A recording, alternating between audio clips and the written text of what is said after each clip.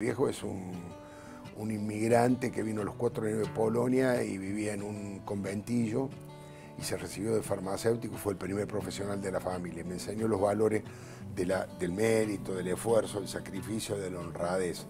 Así que perderlos en un año, por suerte tuvieron una vida maravillosa, no es que murieron jóvenes, murieron grandes, este, eh, rodeados de su familia y de amor, pero todavía, todavía los extraño muchísimo y todavía para mí ha sido un sacudo muy grande la pérdida en un año de los dos.